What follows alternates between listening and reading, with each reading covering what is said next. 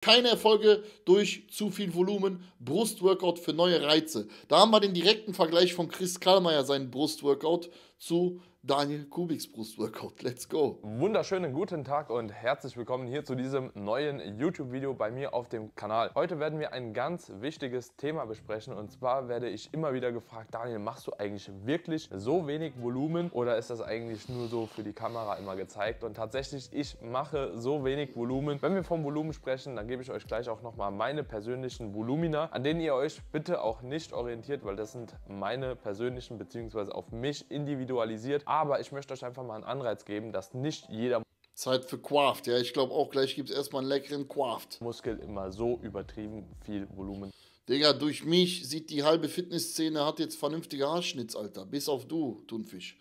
Das, das klären wir auch noch am Samstag. Verspreche ich dir. Braucht. So, und bevor wir ins Training gehen, wie gesagt, wird sich jetzt erstmal ein bisschen was reingeorgelt, nachdem wir jetzt das Regal nochmal aufgeräumt haben, weil alles runtergefallen ist. Wir haben hier einerseits der Quaft. Wusste ich's doch, Alter. Der berühmt-berüchtigte Quaft. Den Evo Craft Pump Booster. Ja, warum?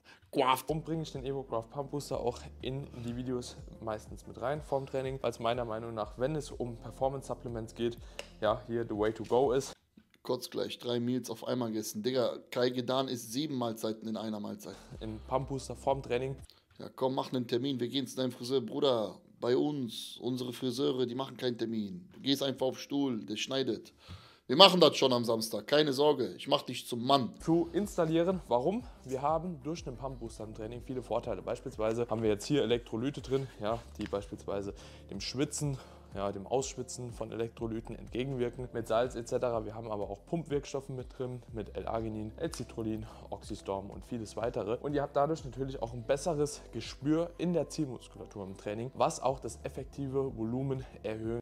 Richtig entspannte Musik im Hintergrund, so wie bei Dingens bei äh, Primark, wenn du dir deine Socken oder Unterhosen kaufst. Kann, ja. Und dementsprechend kann es sein, dass wenn ihr eine bessere Ansteuerung habt, ja, wenn ihr den Muskel besser durchblutet, beziehungsweise dahingehend auch füllt mit Nährstoffen, ja, das gegebenenfalls gar nicht mehr das äh, Volumen, was man sonst so machen muss, ähm, Komm mal jetzt zum Punkt hier, Junge. Zeig mal dein Training, was denn? Nötig wird. Dementsprechend bei mir auf jeden Fall immer einen Pump Booster mit am Start. Genauso eben wie Kreatin. Kreatin Eben. Hingegen, ja, kann letzten Endes so wirken, dass ihr also Kreatin empfehle ich euch gar nicht von. Das ist ganz, ganz gefährlich. Ja, Finger weg von Kreatin. Hat ganz üble Nebenwirkungen. Ihr auch tendenziell einen Ticken mehr Volumen vertragen könnt, ja, was ja auch in gewissermaßen äh, gut ist, wenn wir die Kapazität erstmal erhöhen. Wenn man beim Türken Friseur nach Termin fragt, schauen die mal, wenn man vom Mars kommt. Ja, und da hilft auch. Ja, da kann sein, ich weiß, was du meinst. Schlaf und gute Ernährung und so weiter und so fort. Aber Kreatin ist auch sinnig. Und dann gibt es für die äh, initiale Leistungsfähigkeit auf jeden Fall auch nochmal zwei Fokuskapseln on top und dann sind wir bestens ausgestattet. Der Booster mit dem Blob. Einfach geil, ja, Freunde. Geil, Alter, macht richtig Spaß. Wenn ihr auch den Booster Plop haben möchtet, ja, dann könnt ihr mit meinem Code KBK immer 10% bzw. die besten Rabatte auf die Produkte von Evo Sportsfuel sparen und mich natürlich damit auch supporten. Und gerne machen wir eine kleine Verlinkung in eurer Story von eurem Blog. So, und der erste Grund, warum ich denke, dass ganz viele Leute ein hohes Volumen vertragen und ich eher weniger hohes Volumen vertrage, ist, ich mache mich immer ganz, ganz spezifisch warm. Bedeutet, ja, warm machen im Bezug auf Krafttraining ist nicht unbedingt super, wenn ihr ja, auf dem Fahrrad sitzt, erstmal 10 Minuten strampelt, dann dehnen, ja, und dann trotzdem, wenn ihr an die erste Übung geht, dahingehend den Fehler macht, ja, dass ihr direkt viel zu schnell ans Arbeitsgewicht geht.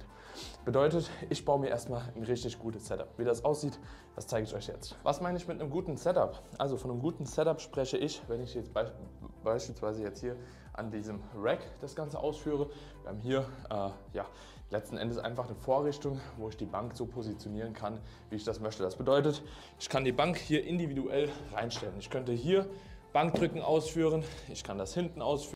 Vergleicht mal bitte wirklich jetzt für die, die noch im Stream drin sind, die vorhin das Chris Kallmeier Video gesehen haben, sein Training, Digga, und das von Chris, das ist einfach irre, ne?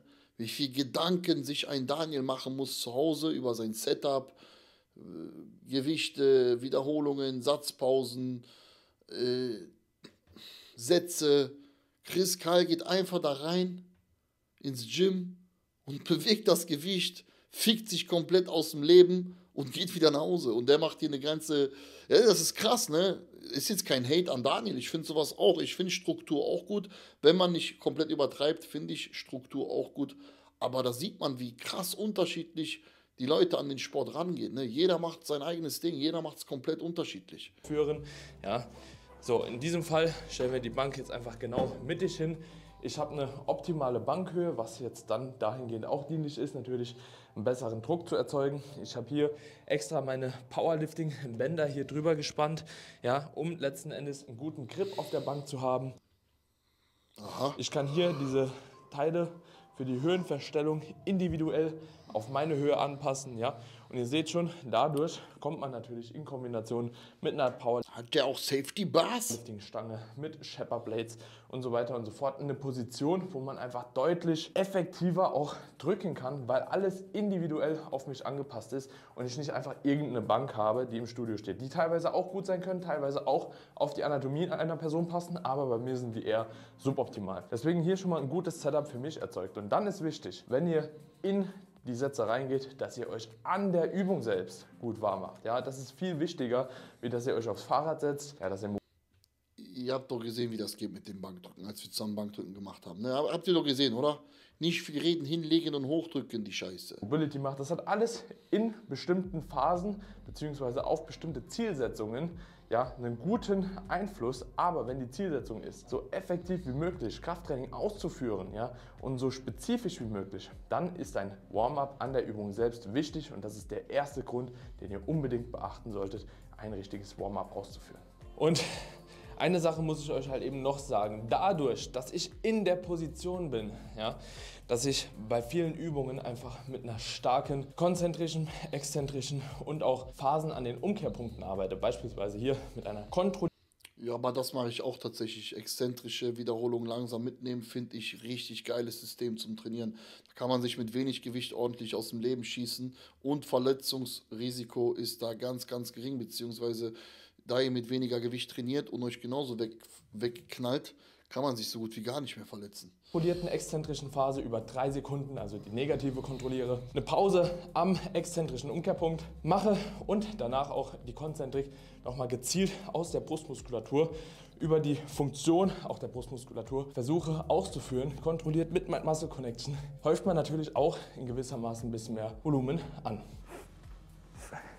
Und viele Leute werden mich jetzt auslachen, aber ich finde es relativ wichtig, selbst wenn man schon eine Freunde, an dieser Stelle eine ganz kurze Werbeunterbrechung. Falls ihr mich supporten möchtet und euch stabile Supplements gönnen wollt, dann besucht die Seite esn.com mit dem Rabattcode William. Sichert ihr euch immer den besten Deal, beispielsweise auf das ISO Clear oder einen stabilen Pumpbooster. Hier Crank Pump Pro kann ich euch empfehlen. Und wenn ihr was Gutes für eure Gesundheit tun wollt, haben wir auch reichlich Vitamine wie Zeug Athlete Stack. Also Rabattcode William, esn.com. Vielen Dank für den Support. Weiter geht's mit dem Video. Ich finde es übrigens geil, dass Daniel wirklich jetzt komplett ausgestattetes Gym hat bei sich im Keller. Ne? Mega. Drückbewegungen gemacht hat, auch andere Drückbewegungen Bewegungen warm zu machen. Ja? Man kann jetzt hier hingehen, wie ich, ja, ohne Gewicht nochmal die Bewegung ausführen. Gebe ich euch aber ganz ehrlich auch meine Meinung, ist nicht unbedingt immer notwendig, insbesondere wenn man hier halt eben noch drei Platten drauf macht und dann mit dem Arbeitsgewicht arbeitet. Ich probiere das aktuell ein bisschen aus, aufgrund meiner Unterarmproblematik, wie sich die Bewegung heute anfühlt. So, aber in der Regel, wenn ich jetzt beispielsweise auf 60 Kilo nochmal hoch will oder 65 Kilo, mache ich einen Satz mit 60 Kilo, mache einen zweiten mit 40 Kilo, mache vielleicht noch einen mit 55 und dann mit 70, mit 80 Kilo, mit 90 Kilo. Arbeitsgewicht 100 Kilo. 60 Kilo und da halt eben dann auch ein passt Warm-up wieder haben. Und das ist halt eben sehr, sehr wichtig. Das ist der Punkt, den ich eben schon genannt habe. Das Warm-up ist essentiell und das wird auch in der Einheit trotzdem immer weiter wichtig sein. Ob ihr jetzt drei Warm-ups hier braucht oder ob ihr jetzt beispielsweise nur zwei macht, weil ihr dann schon ausreichend in der Bewegung drin seid, das ist nochmal eine andere Geschichte. Aber würdigt das Warm-up und geht nicht in jeder nachfolgenden Übung hin und macht direkt euer Arbeitsgewicht, denn so lasst ihr definitiv Potenzial auf der Strecke. Und was natürlich ein weiterer wichtiger Punkt ist, und das ist Punkt Nummer drei, wenn man in den Satz reingeht, wie der letzte Mensch. In dem Zuge, dass man vorher die ganze Zeit vielleicht am Handy war, dass man irgendwo ganz woanders ist, ja, dass man auch gar keine Ahnung hat. Ja, finde ich nicht ganz, mein Lieber, das, was du da geschrieben hast. Das, natürlich ist, man kann das Rad nicht neu erfinden und ausgelutscht, aber es geht natürlich auch um Sympathie, weil beispielsweise hörst du einem Daniel gerne zu, weil du einen Daniel verfolgst und ihn magst, anstatt einem Kai Gedan zum Beispiel. Verstehst du? Es geht immer nach Sympathie. Er macht es auch irgendwo für seine Community und nicht für jetzt gerade Neuzuschauer. Er wird mit solchen Videos bestimmt keine Neuzuschauer ans Land holen, beziehungsweise wenig. Aber es ist tatsächlich immer ein Mehrwert für Anfänger. Wir reden jetzt von reinen Leuten, die gerade in die Szene reinkommen. Ist es immer cool, wenn man irgendjemanden hat, mit dem man sich identifizieren kann, den man sympathisch findet, der dann einem alles ordentlich erklärt. Ne? Besser als das damalige beispielsweise Team Andro Forum oder zum Beispiel Kurva Flex Magazin. Das ist ja Katastrophe. Als ich angefangen habe, gab es sowas nicht, Digga. Hätte ich angefangen und es würde sowas geben, weißt du, wie ich jetzt aussehen würde? Ronnie Coleman, sein Vater. Nein, Spaß, aber ihr wisst, was ich meine. Ja, ist immer für jeden anders. Ob man jetzt wirklich in die Nähe des Muskelversagens kommt oder, oder, oder, ja, muss man einfach sagen, dass man dahingehend einiges auf der Strecke lässt. Und demnach ist bei mir wirklich so, vor den Sätzen geht es richtig ab. Das bedeutet, ich fokussiere mich auf den Satz. Ich weiß vor dem Satz schon anhand meines Trainingsplans, den ich jetzt hier auch habe von Alpha Progression. Also ich habe quasi hier so eine... Und glaub mir, es gibt Jungs, die identifizieren sich auch mit einem Kai Gedan. 100 Prozent. App offen. Wer war dein Gym-Mentor, wo du angefangen hast? Mein einjährig, ein Jahre alter, älterer Trainingskollege. Jakub hieß der. Liebe Grüße, der ist manchmal auch im Stream. Der hat mir alles gezeigt. Ich, ich wusste gar nichts. Der war ein Jahr älter als ich, hat bereits ein Jahr trainiert. Und dann irgendwann nach fünf Jahren oder so fing das jetzt so an mit YouTube-Fitness und sowas. Ja.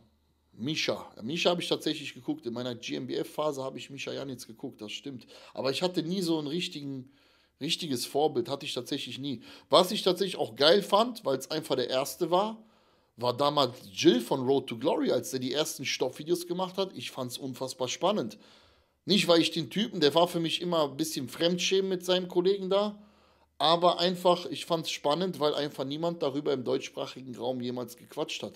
Er war so der Erste. Klar, Goku gab es auch, aber Goku hat eher Aufklärung gemacht und er hat wirklich selber davon gequatscht als Konsument und so weiter, ja. Deshalb. Kann ich euch mal zeigen. Hier weiß ich immer direkt, ja, was ich in der letzten Einheit gemacht habe, ja.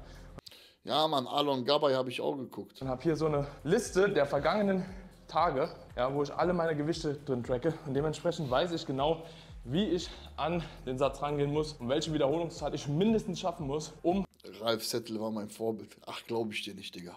Progression zu machen und darauf, darauf kann ich mich fokussieren und dann kann ich natürlich auch ordentlich Gas geben und das solltet ihr euch unbedingt auch merken. Trackt euer Training und geht mental vorbereitet in den Satz rein. Und ein weiterer wichtiger Punkt. Also bis jetzt, ja, ich bin auf jeden Fall zufrieden. Bis jetzt ist, ich habe vier oder fünf Dosen Cinnamon Cereal leer geknallt. Aber eigentlich, bis jetzt alle, die ich hatte, waren stabil. Es gab jetzt keins, was nicht geschmeckt hat. Außer Isoclear. Da gab es Waldmeister, fand ich nicht so lecker. Aber Way hat alles geknallt. Alle Sorten bis jetzt. Punkt. Ja, weiterer wichtiger Punkt. Ich probiere mich aber auch immer wieder durch. Ne? Ich habe noch nicht, natürlich noch nicht alles probiert. Aber Cinnamon Cereal, da bleibst du voll drauf kleben, Alter. Das schmeckt unfassbar. Ist, dass man natürlich auch das Volumen etwas reduzieren kann, wenn man die Trainingsfrequenz auch hochbringt. Warum? Weil jedes Mal, ihr müsst euch vorstellen, ihr macht beispielsweise eine Schulterpresse und ein Seitheben. Zweimal pro Woche. Bedeutet, ihr habt einmal die Schulterpresse, ihr habt einmal Seitheben. Es ist ein Unterschied vom Volumen, also von dem Gewicht. Wir gucken gar nicht mehr das Video, fällt mir ein. So, ich halte mal jetzt meine Schnauze. Mal Wiederholungen, dass ihr bewegt und natürlich auch in Form der Sätze.